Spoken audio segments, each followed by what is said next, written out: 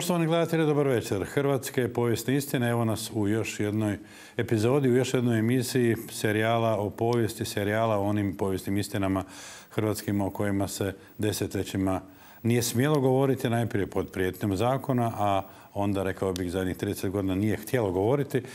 I pokušat ćemo u tom serijalu odgovoriti na čitav niz pitanja. Nažalost, ima ih na pretek o kojima treba progovoriti iz perspektive hrvatskih i povijesnih istina.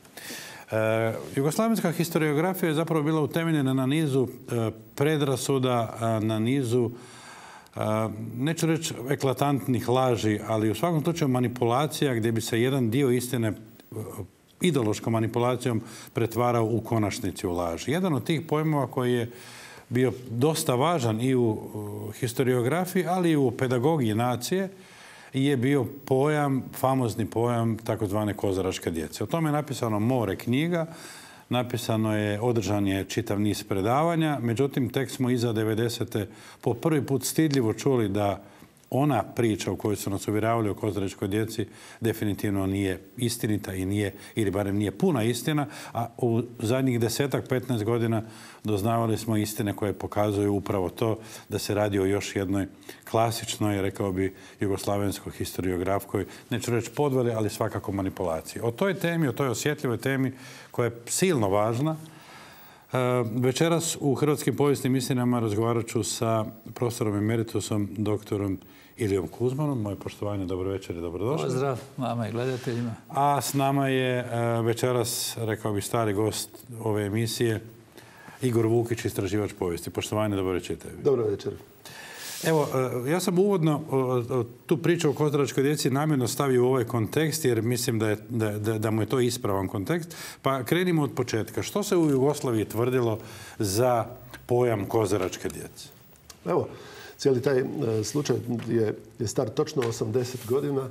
Naime, upravo e, u ovo doba, u ljeto, 15.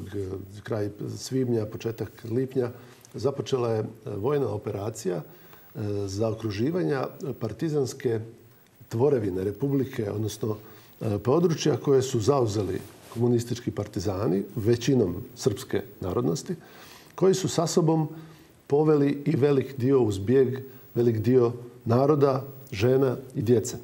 Na nekim mjestima koristili ih čak kao nekakav živi štit u zaštiti od djelovanja vojske koja ih je progonila. Naravno, to je znači 42. godina, tome je prethodila pobuna, ustanak koji se pokušao na tom području također suzbijati.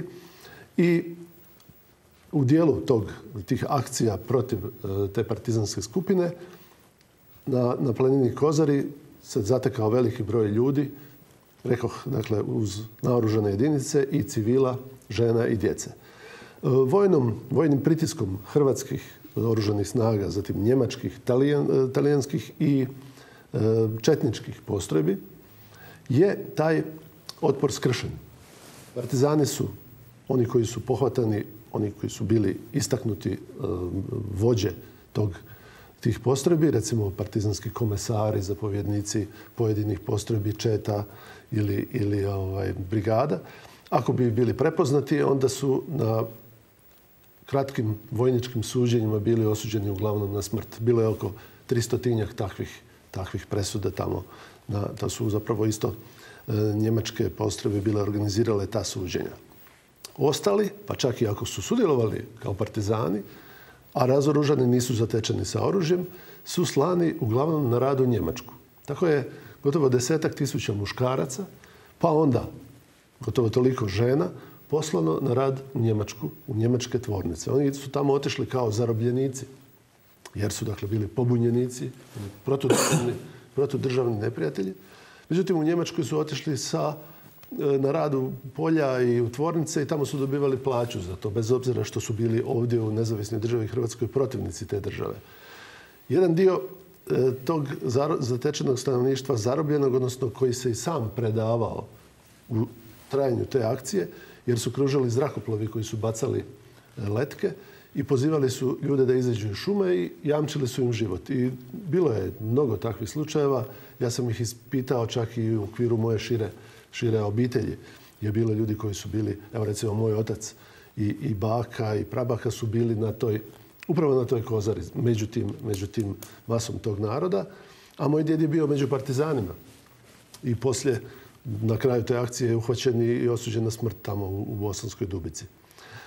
I e, nakon toga su, dakle, e, te velike mase ljudi, to je bilo, procjenjuje se, procjenjuje čak do 60 tisuća. Mada pretpostavljamo zapravo da je bilo ipak manje, manje ljudi.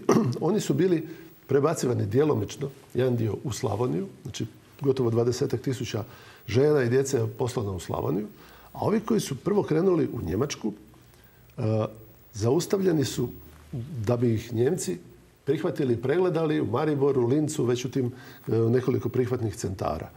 Kako su oni to toplo vrijeme, evo, slično ovome sada, znači po danu, zamislite, 30 stupnjeva, a po noći u tim šumama temperatura se spuštala vrlo nisko. Ta djeca su se već tamo, na kozari, počela razboljevati. Ne samo djeca, nego i ljudi. I počela i umirati. To je bio jedan od razloga, upravo tako su mi rekli, jedan razloga zašto su izašli u susret hrvatskim vojnicima, domobranima i ustašama koji su, dakle, gonili te partizane. E, izašli su u susredi sa bijelim zastavama i krpama jer su bili svjesni, kaže da su stari ljudi bili svjesni da će svi onako umrijeti od tih uvjeta koji su gore. Pa onda ajde idemo probati sreću kad nam već jamče život. I tako je bilo. E sad, kad su krenuli ti prvi, prvi konvoji za, za Njemačku, išli su sa djecom. Mm-hmm. Međutim, vidjelo se da su ta djeca bolesna. Njemci nisu htjeli djecu bolesnu liječiti, trošiti na to. Nije, su gledali vlastiti interes. I vraćali su, počeli su vraćati te konvoje nazad, počeli su prvo dolaziti u Zagreb, pa onda su ih pro, pro, prosljeđivali negdje u neke, neke prihvatne centre, recimo u Zagrebu, u Ilici i sada postoji zavod za gluhonijemu djecu, tamo je jedno veliko dvorište.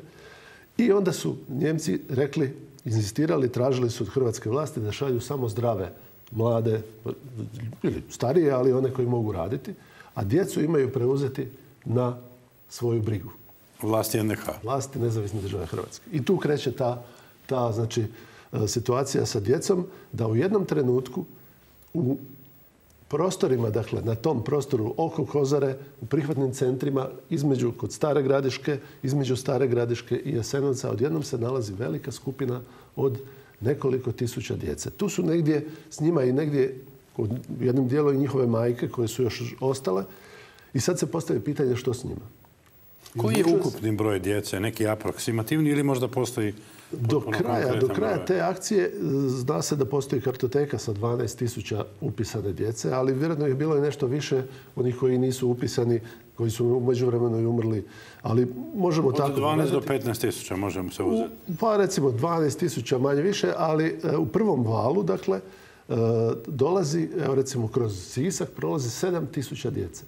I od toga ih se barem 2000 odmah zaustavlja u Sisku i Sisak ih mora brzo negdje prihvatiti. A ono mi smo započeli ovaj razgovor e, e, šta, o čemu, kako je ta cijela priča bila interpretirana u jugoslavenskoj historiografiji. Da. U jugoslavenskoj historiografiji. A nažalost, preživjela je ta priča i do sad u Srbiji, a što je još gore, što je još gore i u Hrvatskoj u nekim krugovima. Dakle, da su to bili logori za srpsku djecu koji su tamo stavljeni samo zato što su bili Srbi. Dakle, nezavisno država Hrvatska ne želi Srbe na svom teritoriju, pa ih trpa u logore gdje ih naravno ubija. Pa onda čak i djecu. Pa i djecu. I taj narativ, dakle, da je jedina uh, u, u Europi Hrvatska, nezavisna država Hrvatska, imala logore za djecu. I to je, kaže jedan čovjek, jedan Hrvat iz Šibenika, gleda sam ga na televiziji, inače pripada ovom jednom, recimo to tako, ljevičarskoj skupini, nije bitno. Kaže, da, veli, to su bili logori gdje su masovno ubijana djeca. Masovno ubijana djeca. E, dobro, sad ćemo, sad ćemo E sad, ovaj, što su, kako su, da, kako su ovoga, ta djeca prihvaćena i kakve su mjere poduzete, reći će evo naš Da. kolega. Dakle, a, a, a, doktore, jer vi ste liječnik, profesor emeritus, ali... ali Da, da, liječnik, liječnik. E, e, sad je e, kolega Vukić rekao da je u Sisak stiglo 2000 djece. Dakle, sad smo dobili kontekst otkud ta djeca ovoga, u Hrvatskoj, da tako kažem. E, 7000 djece je prošlo kroz Sisak, 2000 je zadržano u Sisku. E, Kakav odnos je prema toj djeci tamo bio? I, vratimo se u relacije 40. godina. To nije 2020. nego je 42. ili treća. Po vašim spoznajama, kakav je odnos prema toj djeci bio i što znači kad stigne u jedan neveliki Sisak 2000, odnosno 7000 djece? A vidite, nastao je ogromni zbijeg, a kad zbijeg krene, onda su osim planine Kozare i sva prikozarska sela naseljena pravoslavnim stanovništvom praktički krenula u zbijeg i hitno su formirani prihvatni centri i s jedne i s druge strane rijeke Save. Ukupno je bilo bar 50 tisuća ljudi u tom zbjegu, onda aproksimativno djece jedna četvrtina kao takove.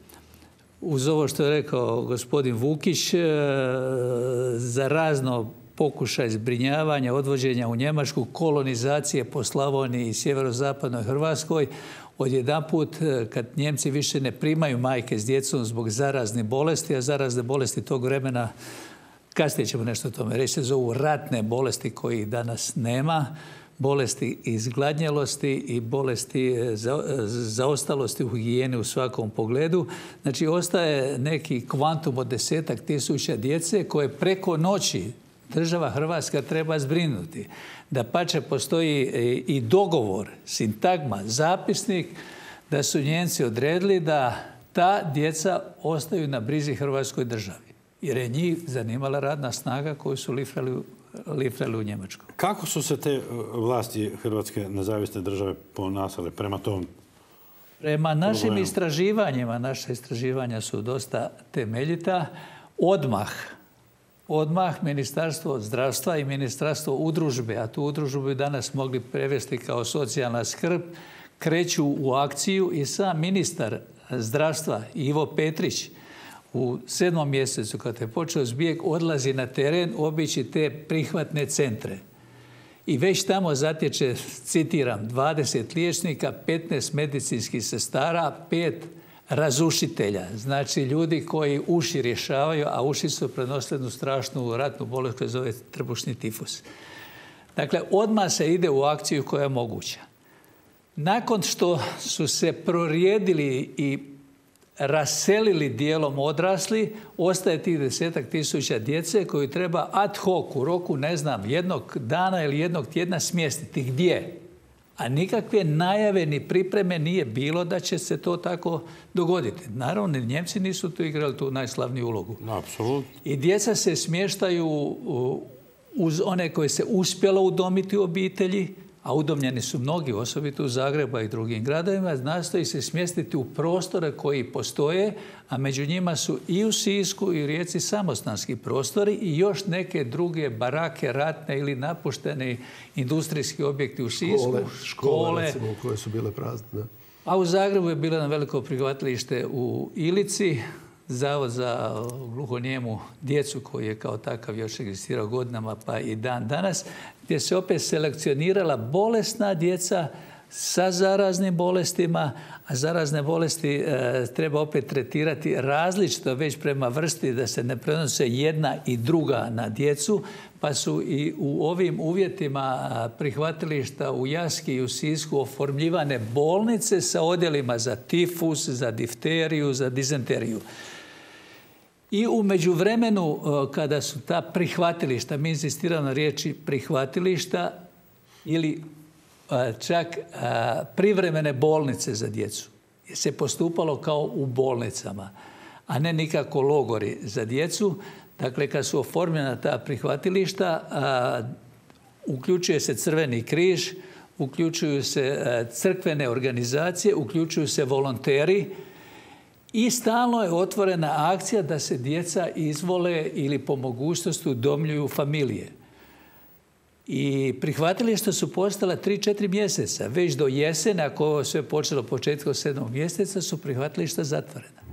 Najveća smrtnost, najveći pomor djece je bio u prvom tjednu nakon dolaska u prihvatilište. Jer treba znati da su oni tu marali po tim planinama i bespućima u jednoj ljetnoj žegi sa neimaštinom općom, bez ikakvih higijenskih uvjeta, sa haranjem zaraznih bolesti, od kojih najteža bila dizenterija. To je teški proljev eh, koji dehidrira djecu u roku jednoga dana.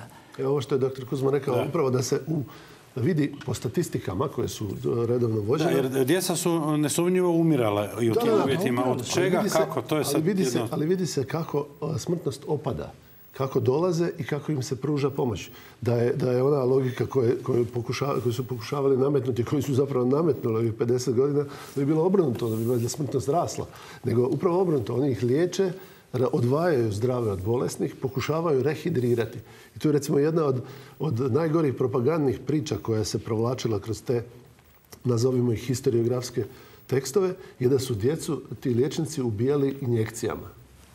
O čemu se radilo, može nam doktor još dodatno pojasniti, ali e, lako je objasniti. Dakle, tim e, injekcijama se davala fiziološka otopina da bi rehidrirala djecu koja su bila iscrpljena od dizenterije, proljeva i tako da, nema kraja mašti i laži ta- historiografije. u to vrijeme, te, u tom sedmom mjesecu 42. u Sisku se ta glasina proširila odmah. I liječnika, glavnog liječnika, doktora Najžara, je pozvala tadašnja ustaška policija na raport da im kaže šta se to događa, da su čuli da ovaj, se tu u tom prihvatilištu djeca obijaju injekcijama. Dakle, glasine su krenule u ratu, a dobro i u miru, kreću vrlo lako. I onda im je on to objasnio, onda su rekli, a dobro, dobro, u redu, nastavite raditi svoj posao, eto, oprostite Da, da. na smetnji. Dobro, kad govorimo o, ovoga, o tome, e, dakle, rekao sam, nesumnjivo je dosta djece umrlo u tim uvjetima. Kakva im je skrb pružena ili možda preciznije, a, kakav je stupanj zdravstva bio a, tada u NDH da se toj djeci ipak u nekom većem broju nije moglo pomoći? Pa dobro, ovako suvremenom uh, pratitelju Pitam to iz događanja... 2020. Da, da, naravno, iz, ove- iz pozicije treba da. pojaviti sljedeću stvar. Da je drugi svjetski rat na našim prostorima upamćen kao vrijeme gladi, vrijeme neimaštine, vrijeme e, sve opće krize, e, vrijeme e, sa zdravstvenom službom insuficijentnom, osobito na današnje poglede. Ja ću samo navesti dva podatka. To je vrijeme kada antibiotici u svijetu još nisu postojali. Znači nikakva upala se nije mogla riješiti antibioticima, a u tom vremenu nije postojalo ni cijepivo u današnjem smislu riječi kojima se sprečavale bolesti. Aha, da. Moramo stvar postaviti u taj kontekst. E, u tom kontekstu imamo uh, situaciju opet za modernog slušatelja i pratitelja da je recimo u gradu Osijeku, u gradskoj sredini u 42. godini svako četvrto dijete rođeno umrlo u prvoj godini života. Gdje nije bilo posebnih ratnih događanja i gdje bi ipak neki gradski život. I onda poglavarstvo grada Osijeka uzima sebi zadatak da pojača prehranu djeci, da se nešto dogodi sa smanjenjem toga pomora, da bi onda u 43. godini taj pomor smanjili negdje na 17%, 17%, a veli u mjesecu srpnju, kad su došle velike žege i kad je počela harati dizenterija, taj teški proljak uzrokuje šigela, tada je smrtnost bila u tom mjesecu 30%. Jer sad to mora imati u kontekstu prije nego što ćemo komentirati djecu koja su došla u prihvatilišta u Sisak i u Jasku, ta dva najveća kao takova. Znači, po statističkim podacima u, Jastrebarskom je umrlo oko 17% djece od, od 3,5 tisuće koliko je došlo, negdje oko 500. Ali opet kažem, u prva dva mjeseca i onda ta... ta ovaj, Kako skrb raste, tako broj pada. U. Sisku nešto veći. Nešto veći postotak, tako je. Ja sad kažem, ako se uzme 7000, pa onda u Sisku je umro velik broj djece, dakle 1156. Ono što je tu isto bitno za primijetiti je da su umrla najslabija, najmanja I djeca. najmlađa. Najmlađa djeca. Znači, od tih 1150, gotovo 700 se nije znalo kako su se zvali. E, tu je sad ona stvar koja se recimo ne. možda može, može uprijeti pa reći, je možda tu djecu u, tom, u, toj, u toj gunguli, u tome nisu trebali ipak odvajati od, od, od majki.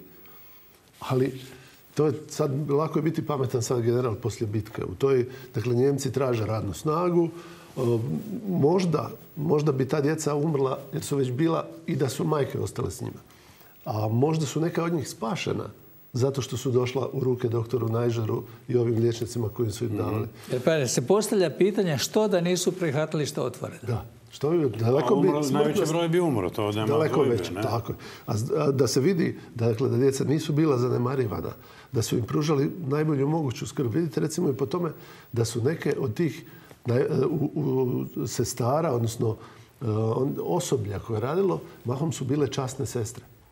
Posebice u Jastrebarskom. One su i vodile jedno prihvatilište, odnosno jedan dom dječji koji je postojao i ranije.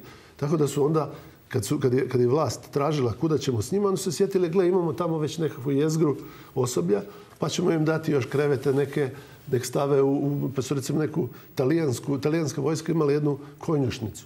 Pa su čak to ispraznili, ne oprali, očistili i tu su stavili djeca koje su... Rasprava o, tom, ovoga, o tom prihvatilištu trajala je do jučer zapravo o, o, o Jasterbarskom. Ne? One ploče koje su se vrtile i mijenjale oko toga što je zapravo tamo bilo. Ne? To je recimo, evo, htio sam upravo to reći. Jedna od tih časnih sestara se sama razboljela od te djece, zarazila i umrla. Znači, nesebično su pružali, mogli su pustiti tu djecu, dakle, ne da, da, da umru. Uh, taj Jastrebarsko oko tog prostora gdje se, gdje se nalazilo to prihvatilište nije bilo nikakve ograde, nije bilo nikakve straže, dakle, nema priča da bi to bio nekakav logor. Da, da, tvrdilo se 50 godina, ne, 70, do jučer se tvrdilo da, je to bio logor. Neki to govore, još i danas. Ili recimo u Sisku, gdje su ljudi dolazili, uh, dakle, kad su ta djeca stigla u novinama, dakle, novinama koje su izlazile u Sisku, su vlasti objavile oglase pa tako i u Zagrebu i, i drugdje, obiteljima da dođu i prime djecu na, na, na skrb. Dakle, iako dolaze, ajmo reći, pravoslavna, srpska djeca, djeca roditelja koji su se pobunili protiv države, to nije bila zapreka da se pokuša, djeca, ne, pokuša pomoći. Tako. I tu se recimo događalo strašnih slučajeva, recimo da, da, da bi neka obitelj uzela bolesno dijete da mu pomogne, a onda bi se od tog djeteta zarazilo njihovo dijete i umrlo. Da. A jedan dio ste rekli, e, završio je zapravo, naselio je dio Slavonije, je li tako? U onom prvom... Tako je. je. kako se službena crkva katolička držala? Spominjete jedan i drugi časti mm. sestre, ali kakav je bio e, službeni stav službene katoličke crkve u Hrvatskoj? Katolička crkva I na temelju kojih svojeg, podataka imamo? Preko svojeg karitasa, preko svojeg karitasa, vrlo brzo bila uključena u, taj, u taj proces e, prihvata i e, posebice kolonizacije. Znači, to je, tako se zvao taj proces udomljavanja u obiteljima. I oni su pomoću svoje mreže i ovaj, župnika na terenu, e, aktivista i slično organizirali znači, taj, taj prihvat. Tu uz, e, uz dakle, crkvene redove koje sam već spomenuo da su djelovali kao osoblje i u bolnicama i u prihvatilištima, dolaze i skupine volontera koje žele pomagati. Recimo tu možemo spomenuti Dijanu Budisavljević, jednu Austrijanku o kojoj se dosta e, ovih godina i e, govorilo u hrvatskoj javnosti, koje se pak u dijelu javnosti daje prevelik, prevelika uloga, preveliki utjecaj u cijelom tom procesu, ali njezina uloga je važna. S jedne strane je poticala već svojim, svojim recimo nekim angažmanom i pokušajmo da zainteresira recimo neke skupine i mučnijih ljudi, posebice iz pravoslavne zajednice u Zagrebu, da pomognu toj djeci. Oni su se iz početka to dosta ovako i, zbog općih političkih situacija pomalo e, sustezali od toga. Zatim je njezina uloga bitna što je, kad su dakle ta djeca iz prihvatilišta krenula dalje u obitelji, što je vodila kartoteku. Znači, ministarstvo zdravstva i udružbe joj je povjerilo vođenje kartoteke i e, evidencije o toj djeci. Tako da su vrlo često roditelji te djece. Dakle, ona to nije radila na svoju ruku, nego je ministarstvo... Ona je, ona je ovako, sad e, možemo se malo vratiti nazad na početak ovoga, čak i početak e, rata. Dakle, i objasniti, već smo rekli zapravo, zašto su ta djeca uopće došla u tu situaciju i zašto baš, baš ovdje. Dakle, kad je izbila pobuna, pobuna koja je posebice u početku bila ona čisto srpski nacionalni ustanak protiv, protiv Hrvatske, tada su i e, vlasti u pokušaju da suzbiju pobunu e, vrlo često e, reagirale tako da bi uzele skupine civila za taoce. Da bi one koji su se odmetnuli sa oružjem prisilili da se vrate kućama. Tako su, recimo, u mjesto Loborgrad u Zagorju je bilo smješteno nekih 200 srpkinja iz okolice Sarajeva sa djecom koje, čiji su muževi otišli u Četnike na početku, na početku rata. Znači, njihovo pritvaranje uzimanje kao na neki način e, stavljanja u tu internaciju je bio pritisak na... na I tu, je, tu počinje aktivnost Dijane Budisavljević. Ona je čula da tamo postoje ta, djeca, ta žena i djeca. One su bile zajedno smještene sa grupom židovki koje su opet iz drugih, drugih razloga bile, bile tamo internirane. Dijana Budisavljević se raspitala. Inače, evo, bila je udata za Julija Budisavljevića koji je potječe iz jedne srpsko-pravoslavne obitelji Budisavljević, poznate, koja i čak do, do Titove supruge Jovanke ima, ima ove obiteljske veze, a njegova braća su bili također istaknuti.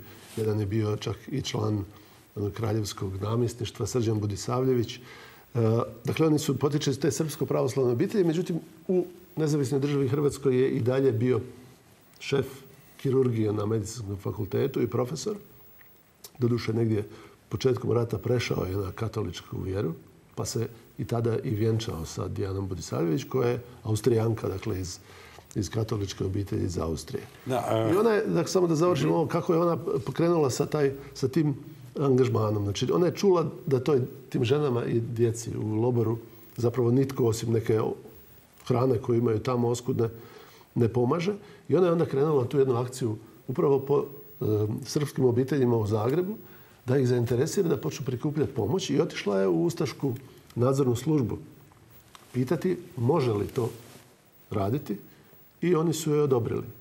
Dakle, dali su joj prvo propusnice da tu odjeću, deke, hranu odveze kamionom u Loborgrad i ona je onda krenula i dalje u nastojanju da pomogne evo i toj skupini. To je išlo do otle da je otišla kako je već dakle, bila iz tog jednog uglednog i, i visokog zagrebačkog društva, mogla je doći i do ministra Artukovića, Andrija Artukovića, od kojeg je zatražila pomoć, odnosno da, da dobila je prvo pomoć da, odnosno odluku da može to slobodno raditi. Znači uz znanje vlasti. To nije bilo protiv, da su vlasti se protivile, ona nikad ne bi ti šta napravila. Ovako su oni rekli, dobro, evo, ako ti hoćeš, znači, gotovo kao jedna suvremena e, uloga civilnog društva Da. koja nadopunjava... A, volonterka Sam- je bila. da, Ali pitat- prostite, sad da, Da, ne da. ostane ono Da, da, na da, odgovorenom katoličkoj crkvi angažmanu. Podatke koje smo mi našli, između ostalog. Transporti su išli vlakovima sa postaje e, Jasenovac ili postaje Rajić do Zagreba, desetak sati sa prijevozom 800 do 1200 djece. Ta djeca bi u Zagrebu onda bila prihvaćena, najprije okupana i razušivana, kao što veli trebljene su uši. Osim tog doma u doma e, Zavoda za gluhonijeme u Ilici je ustupljen prostor oko katedrale, takozvani staklenik, gdje se isto to događalo. Zatim je e, većina negovateljskog osoblja u početku su bile časne sestre. E, Ustupljeni su samostani i u Jaski i u Sisku za zbrinjavanje te djece. Da pače, nakon nekoliko mjeseci kad je nenajavljeno iz Gornje rijeke kod Križevaca stigao jedan transport djece koji su imali pjegavi tifus, a oni su u Jaski već razračunali sa zaraznim bolestima razrešavajući djecu u različite paviljone ili različite odjele bolnice, onda su ispraznili samostan sami redovnika da bi tu djecu stavili u izolaciju koji su imali drugu bolest kao takovu.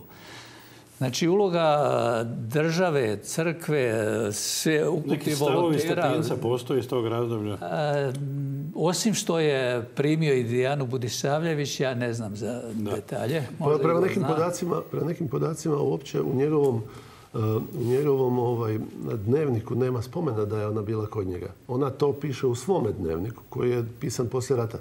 Moguće da je tu možda malo i svoju ulogu željela preuveličati. Međutim, ono što se zna službeno, dakle, da je Caritas sa, sa njegovim nastavnikom Dumićem, a to bez... Da, da, pod izdravom ingerencijom, Pa evo, naravno, evo samo naravno. to da je, da je praktično pod prozorom e, Stepinca u onaj, u onaj ko želi mogla pogledati tamo kod stare Vlaške taj, taj dio, to je ulica Branjugova koja je zapravo zatvorena, ali vidi se kroz ogradu taj staklenik. Onda je Jeronimska dvorana, gdje je sad Jeronimska dvorana, kazalište također. Lutaka. To je bilo sve puno te srpske djece i već su tu dolazili, pozivani su građani da dođu. Da. Sad kad Pomagali ste- su toj djeci, dakle, prihvatali, prihvaćali su je, obični građani.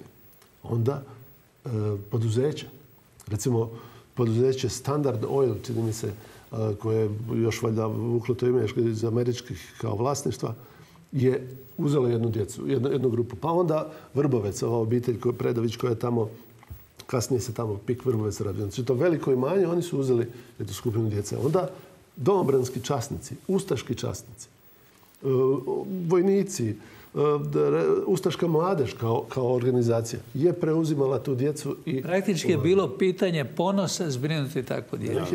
I e, tisuće i tisuće su zbrinuti u gradu Zagrebu kod građanskih, ajmo reći u bogati obitelj od kojih su izrasli brojni javni, kulturni, E, djelatnici, važni ljudi u hrvatskoj povijesti, da sad ne nabrajamo od glumaca do liječnika. Država je osiguravala i određenu pomoć. Posebice je to bilo dobro došlo recimo u seoskim obiteljima prvo uz to što bi dobili možda neko ko će im malo i pomagati. Imate neko poznato ime koje... koje... Pa, među, među najistaknutijim nekako poznatijim osobama su recimo glumica Božidarka Frajt. Ona je i nekad se, e, njeno je djevojačko prezime Grubješić. Mhm. Dakle, također je E, prihvaćena u obitelji Frajt. I to se događalo često da bi ta djeca onda bila ili posvojena ili bi, pa kad kada to, iz života, zahvalnosti, često bi čak bilo i takvih slučajeva da bi roditelji na neki način ili ostavljali tu djecu kod udomitelja jer su vidjeli da im je tamo bolje. Neki su dolazili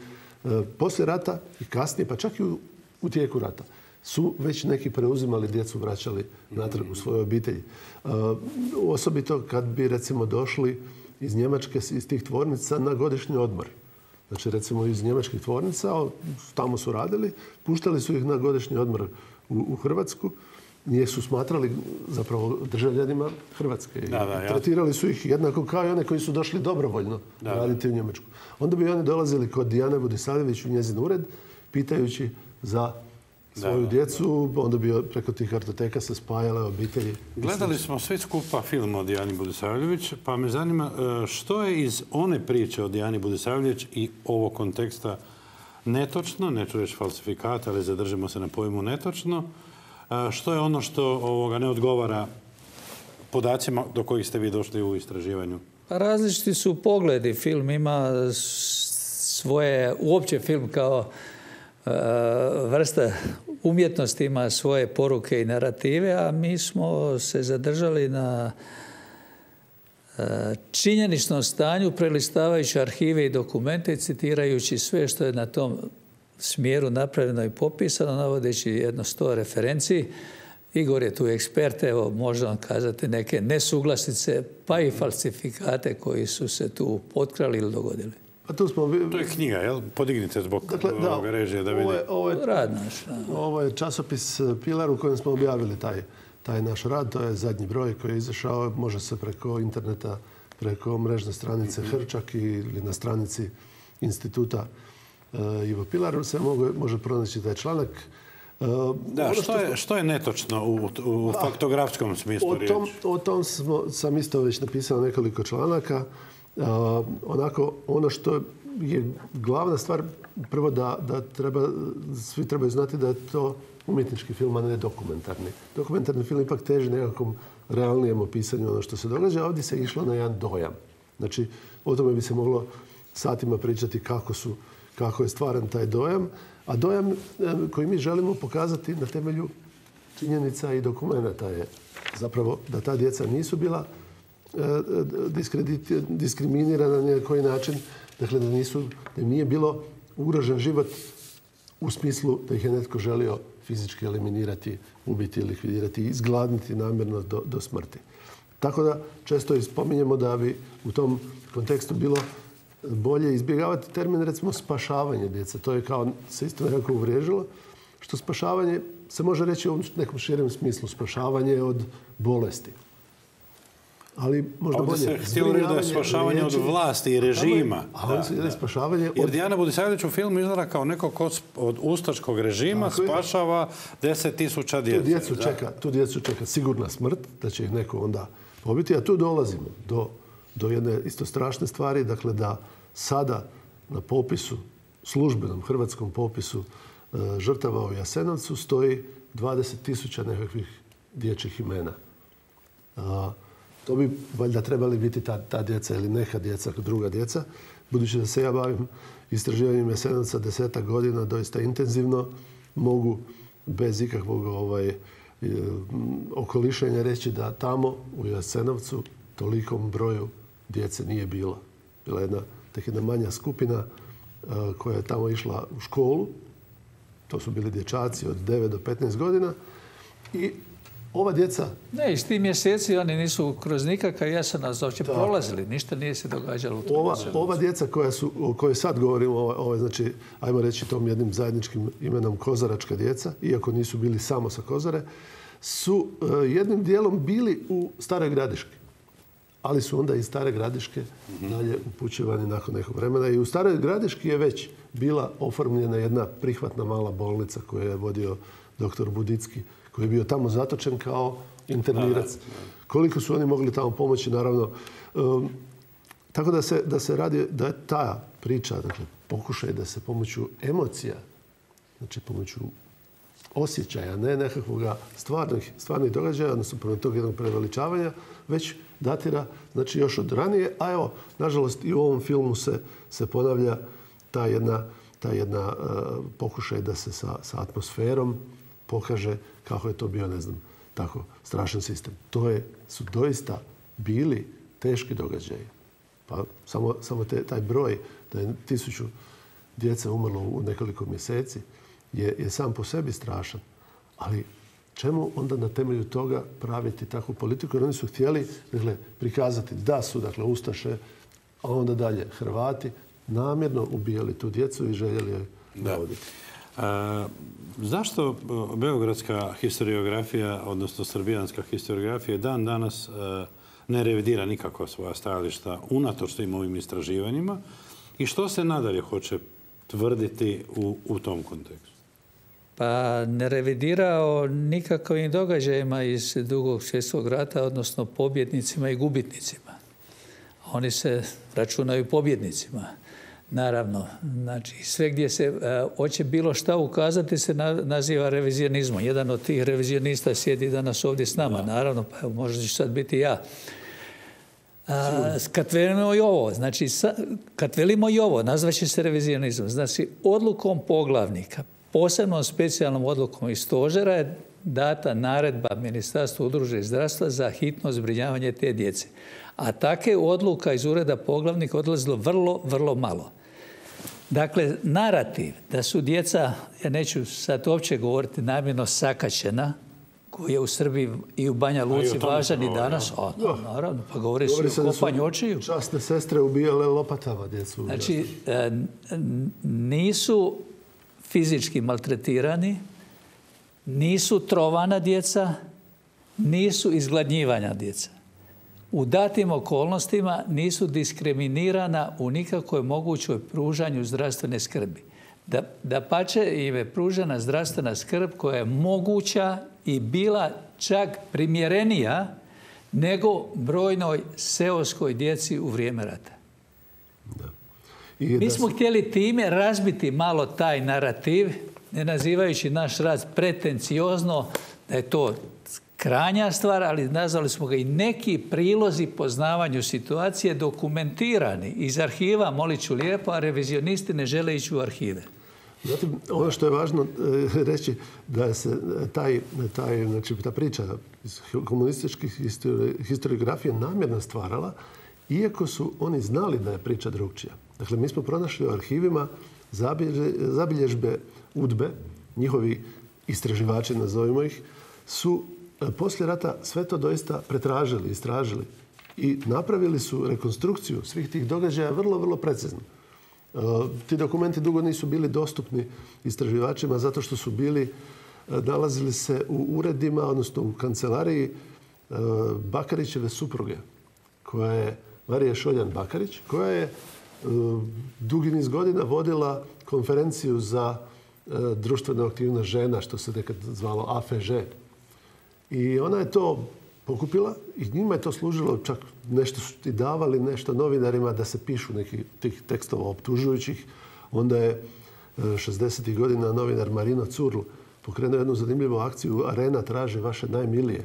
Pa su njemu dali nešto malo od te kartoteke. Znači, ta kartoteka je ovo je važna stvar i to je nešto što je u onom filmu od Dijane Budiša, filmu, točan, točno. A točno je da je poslije, na samom kraju rata, Dijani Budisavljević, nova komunistička vlast, oduzela tu kartoteku. I time čak onemogućila spajanje nekih tih obitelji. I neki su ostali dugi niz godina u uvjerenju da je njihovo dijete umrlo, a to dijete se nalazilo negdje... Zašto su je oduzeli po... Oduzeli su zato jer su oduzimali sve. Da bi imali kontrolu, totalnu kontrolu nad svim. Ona je bila pak u njihovim očima neprijateljska osoba. Ona je bila neko ko surađuje sa Ustašama. Ona je neko iz buržarskog kruga. Pa to je dovoljno, imali su čak, može se reći, možda sreće da su, da su ostali živi. Mogli su, evo, doktor Najžar, koji je zaslužan upravo za organizaciju prihvatilišta u Sisku, je poslije rata osuđen na smrt i strijeljan. Između ostalog i zbog toga. Zbog toga to su Isključivo zbog toga. To je, to je žalostna sudbina, budući je to moj kolega o kojem smo radili, o kojem smo radili i film zajedno s jednom televizijom. Dakle, on je bio liječnik školske medicine, vodio je školsku polikliniku u Sisku. I dolaskom te djece u Sisak je imenovan voditeljem tog prihvatilišta. Posve kvalificiran. Liječnik specijalizira za raz djecom. I na koncu, kad je raz završio, je optužen, suđen u Sisku, dobio devet godina strogog zatvora sa oduzimanjem svih prava osim roditeljskih, da bi se onda javni tužitelj, nećemo ga sad imenovati, žalio i u procesu u Beogradu ponovljeno osuđen na smrt i pogubljen u Sisačkoj šumi bez da mu se zna za grob, mjesto i vrijeme pogubljenja. On je bio žrtveni jarac i time se isto htjela poslati poruka da se o tim stvarima realno ne smije govoriti, iako su, kažem, Udba je znala. To je, recimo, sad su se na kraju ti dokumenti iz te e, Bakarićeve suprugina znači, ureda pojavili preko putem u državnom arhivu i pronašli smo tamo čak e, tlocrte svih prostorija. Udba je identificirala ko su bili ljudi koji su cijepali drva, e, ko su e, žene koje su kuhale toj djeci.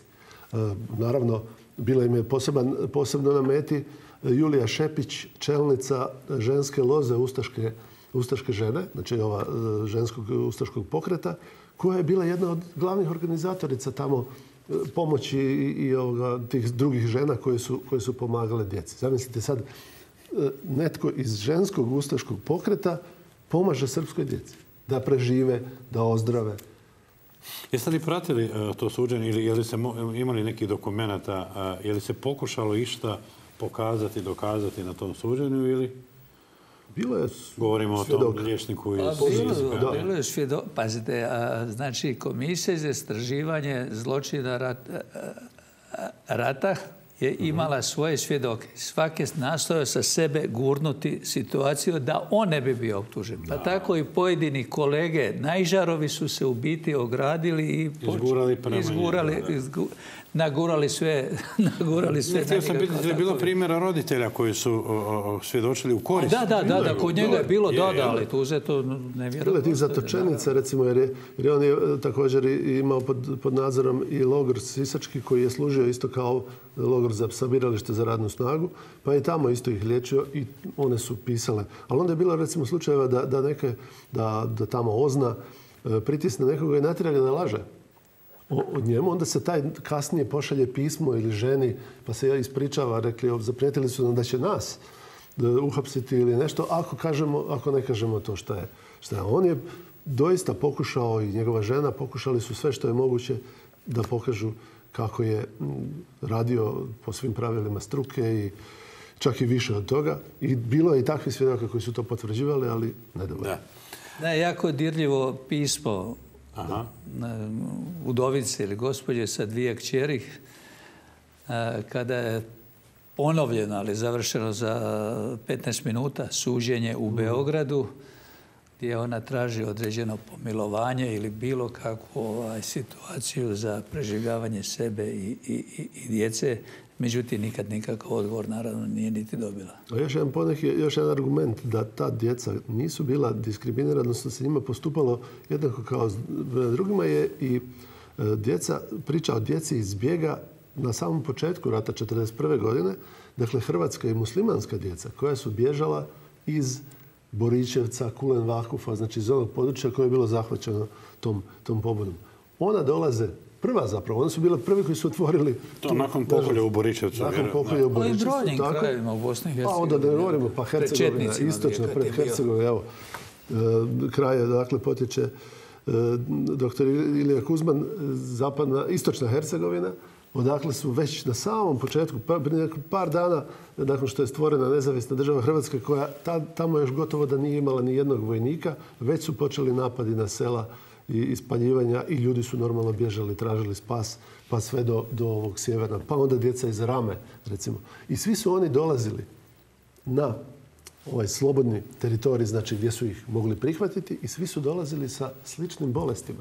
Kad pogledate šta su zapisali liječnici koji su primili te male boričevljane, oni dolaze svi sa istim bolestima kao i ovi sa kozare. Dizenterija, tifus, e, difterija, izgladnjelost. Ali o tim zbjegovima se malo govori. Dakle, zna se samo o, o, o kozaračkoj djeci. E, to je druga stvar. Da. Dobro, da. Mislim, malo se i piše, malo se i govori, da. Oni koji su imali priliku pisati su pisali naravno iz Da, ove vizure. naravno. E, recimo nisu spomenuli nikada, ne spominju čak ni sad u Srbiji, da je jedan dobar dio, e, teško je sad govoriti o, o ukupnim brojevima, ali dobar dio te djece srpske je otišao i u Srbiju. I da su tamo umirali u jednakom postotku kao i ovdje u hrvatskim bolnicama, čak i veće.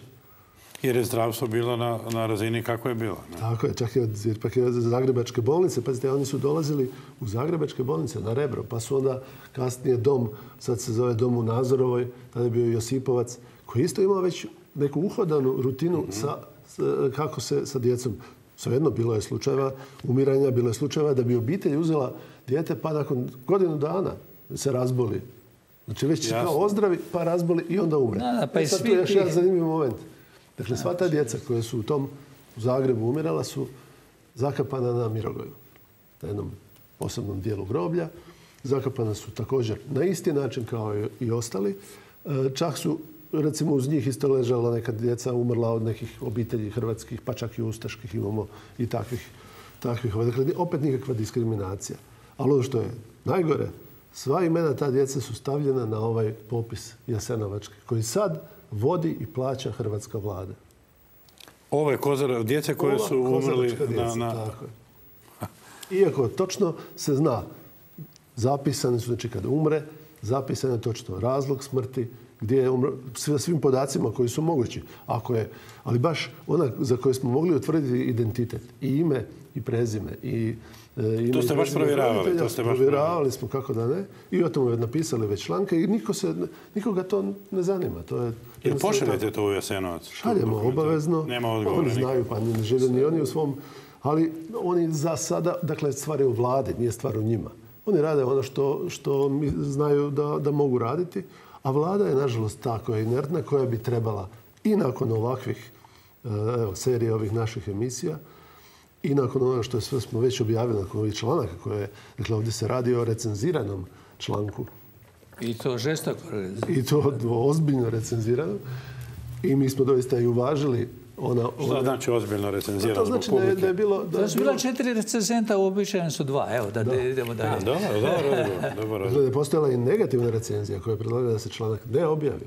Pa su i e, dobar dio i tih primjedbi iz tog recenzenta smo uvažili jer uvijek može se... Naravno, naravno. Dakle, o- o- ovo su zbjegovi koji su bili uvjetovani a, a, njemačko-ustaškom a, a, ofanzivom, odnosno pokušajem da se suzbije Pobuna. na Kozare. Tako je.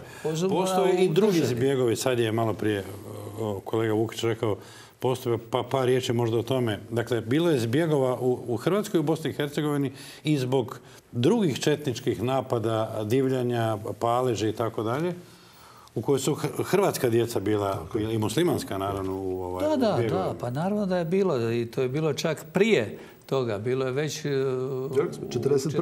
41. u jesen. Pa evo što je rekao ovaj, Igor iz e, Istočne Hercegovine, tamo je najprije četnički pokret žestoko krenuo stvarati Veliku Srbiju, područja koja su tad bila pretežno muslimanima, naseljena su praktički e, ne samo devastirana fizički, nego i protjerom kompletnog stanovništva. Imate neke brojke drugi- aproksimativne A, o kojem broju pazite, ljudi? Sad govorimo o svi izbjegavamo o drugom ratu. Ne? Da. Da, da. To je sad vrlo razdrobljeno. a, Vrlo razdrobljeno. to su tisuće, sad tisuće, i su- svagdje su dospjevale. Pa evo i moji preci su isto tako dospjeli u Bosansku Dubicu i odatle tumaranje po Slavoniji, pa onda do da. Zidanog mosta, pa onda nazad Blajburgom i ne znam gdje to su. Ti sve sudbine. Često bi se ta djeca dotakla ili našla zajedno sa ovom djecom sa Kozare. A ova djeca sa Kozare, osim znači, s tog područja imamo i jedan dio koji se e, je doveden iz područja e, sjeverno od Okučana, Novske, Nove Gradiške. Dakle, taj e, dio gdje su također živjeli u nekom većem broju stanovnici srpsko-pravoslavne narodnosti, a kod njih se pojavio partizanski pokret. Znači uvijek je razlog zbog tog te njihovog prebacivanja ili slanja u Njemačku ili recimo e, djece u, prihvatilište je bilo taj, taj razlog. Nije bio samo zato što su oni bili Srbi. Pa sad njih ne Da, želimo tu. Da, jel? da.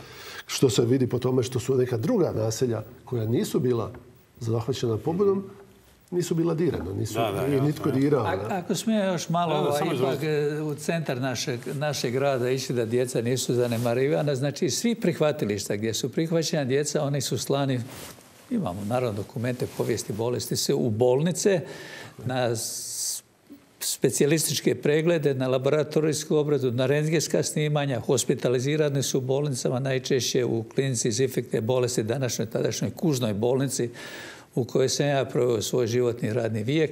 Da pače, 42. godine kad su kapaciteti u zaraznoj bolnici skučeni, ponestali, gdje nije bilo onda mjesta za zagrebačku djecu, onda je zarazna bolnica otvorila depadansu bolnice u Zavodu za gluhonijemu djecu u Ilici, koja je tamo funkcionirala sa specijalistima iz zarazne bolnice.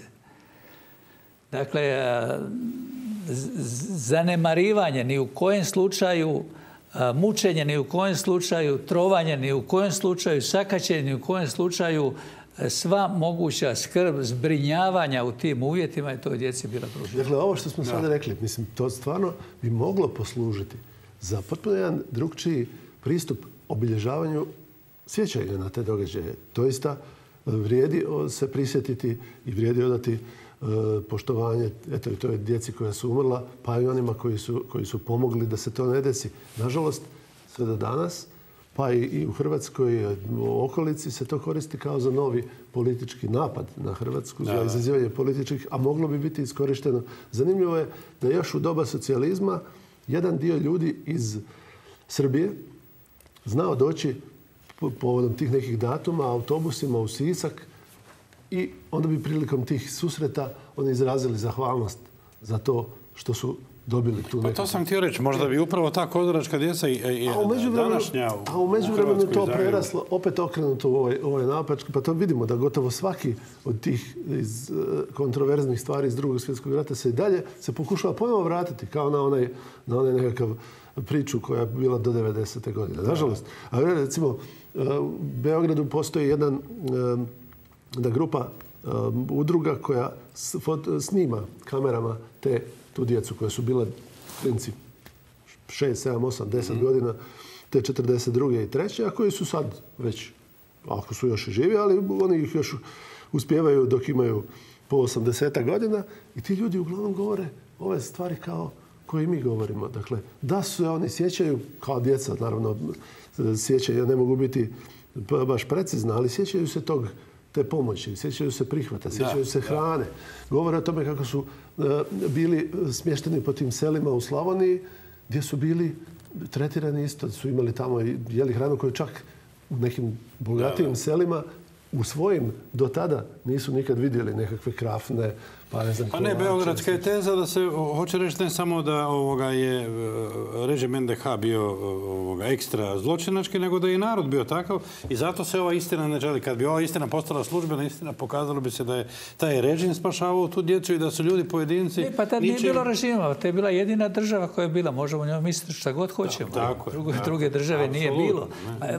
Par još činjenica. Znači, šef medicinske službe u prihvatilištu Jaska je bio dr. Dragišić, pravoslavac, sa svojom suprugom, koji je kasnije bio šef pedijatrijske klinike na Šalati dugi, dugi niz godina. Imamo e, s njim e, iz komisije za ispitivanje zločina drugog svjetskog rata imamo snimljenje njegove izjave. Pa vrlo dokumentirano, da tako kažem. Jasno kako je pravoslavac, pa konačno NDH se nisu nazivali Srbi, nego pravoslavac. Kako je pravoslavar radio s tom djecom kao tako. I onda, e, da to da ne ostane ono slikanje, kako su protumačene slike i slikanja. još samo da dodam da je recimo bio uz njega i doktor Weissman koji je bio židov kojeg su dakle te... Gdje? U, u Jastrebarskoj. Koji je došao iz Osijeka i dakle na taj način je, bio zaštićen da ga Njemci ne odvedu u, neki njemački logor. Znači on je časne sestre e, koja je to nadstojnica tog Jastrebarskog prihvatilišta bila je Pulherija Barta se zvala ili Anka koja je bila svastika, znači e, sestra žene Mile Budak. Znači ona čuva židovskog liječnika, čuva pravoslavnog liječnika koji, koji liječe tu djecu. Uh, šta smo rekli? Dakle, da je... Um, Za fotografije. Fotografije, tako je. To je zanimljivo. Um, poslije rata su se znale, do sad se pojave isto po internetu kruže, fotografije mrtve djece, pa čak i djece ono, koje na umoru leže i tako. I to se koristi kao motiv za optuživanje, jel, kao evo to su ta djeca. Međutim, ta djeca su fotografirana svjesno da bi se pokušao zaštititi njihov identitet, odnosno na neki način obavijestiti obitelj ako bude tražila, dakle da su, da su ta djeca bila tu i eto, nažalost nije im se moglo pomoći i umrla su. Znači nije bila ideja da se, ne znam, nekakva druga, druge... Dakle, druge fotografiranje je rađeno u kontekstu identifikacije, zapravo. Identifikacije, sačuvanja, sačuvanja. A kako je to istretirano? ta je mlada djeca stigla bez ičega, bez, imene, prezimena, datom rođenja, bez ičega, kao NN. Oni su slikali, pa će ih možda netko prepoznati po nekom madežu, po nekom obliku. Ovaj, A kako je to tretirano u beogradskoj historiografiji? Te pa Evo, je tretirano. One su same po sebi ovaj, strašne i onda se uz te tekstove ubace takve fotografije priča i stvara se priča. onda se, ne znam, Kao ilustracija. Tako, onda postoje... A mislim, može se postaviti pitanje, pa zašto bi ovi sami onda dokumentirali svoje zločine? Radili su to zato da pokažu zapravo da, da, da pokušaju sačuvati taj identitet koji je da, se eto, ako je moguće. Obzirom ovoga da na sve o čemu ste govorili u kontekstu Siska i, tog liječnika, da li nove informacije, ove ukorištene informacije, knjige ovoga, i predavanja gdje se istina ipak nekako probila, da li bi otvorilo prostor da se rehabilitira taj liječnik, odnosno da se ponište taj sudski proces? Ima li nekih razmišljanja u tom kontekstu? Mislim da, mislim da bi e, toj temi sigurno e, moramo posvetiti jednu emisiju u ovoj seriji Hrvatske povijesne istine, znači mogućnost i rezultati rehabilitacije pojedinih osoba. Jer ako je čovjek dobio devet godina zatvora i sve ovo odgovara istini, a onda je ubijen, onda je ubijen mimo svake pameti, onda je u najmanju ruku bi se moglo... Po zdravom razumu on bi morao dobiti znači, i službenu sudsku rehabilitaciju. Hoće li obitelj to pokrenuti ili neka udruga koja se, koja se bavi, jer to je, to je mogućnost zakona ostavio čak da proces rehabilitacije pokrenu i neke, neke udruge koje se bave ljudskim pravima. Ja se nadam da hoće. Da postoje njegovi potomci i na njima je prva, prva odluka da to naprave. Proces nije jednostavan. U kom e, smislu? Pa nekako to kažem, kad, kad budemo radili emisiju o tome, pa će nam to još i stručnjaci dodatno reći. Ali za razliku od Slovenije, u Hrvatskoj je relativno mali broj rehabilitiranih ljudi. Kao da sadašnji sudovi postavljaju neke kočnice da, recimo jedna od, od njih, čisto formalna je da morate donijeti originalnu presudu. A vrlo često su te presude nestale u arhivskim um, često su ti, držali su to vojni sudovi, na primjer. U Sloveniji toga ima puno više. Nešto više i nekako je, čini mi se po mojim nekim informacijama, tamo i relativno lakše dobiti dobiti da ima više slučajeva, ali opet ne puno. Ni tamo režim, odnosno uređenje društveno nije nešto baš e, toliko poticajno za u Ali e, dokaza neće, ne bi manjkalo. Ne bi, ne bi. Ako je bilo volje dokaza, ne bi manjkalo. Da, to je valjda najvažnije. Sad, u ova vremena, valjda argumenti napokon Ba dobro, evo već je napravljen dokumentarni film. Ja sam sudjelovao nekim dijelom u tom filmu, Tomačić, ovaj medicinski dio i neka grupa ljudi postoji kao takova. Da, evo. Pa u tom je kontekstu... zakonodavstvo malo naše, ne talasaj što bi rekao Da, sad. da, da, da. Ništa, evo u tom kontekstu je ova emisija ovoga, ne- nek pripomogne do kraja osvjetljavanju hrvatske povijesne istine. Hvala vam lijepo na sudjelovanju, dr. Kuzman. Igor, hvala i tebi. Poštovani gledatelji, vidimo Evo, se hvala na pozivu, pozdrav svima. Vidimo se ponovo ovoga u idući petak do onda moje poštovanje.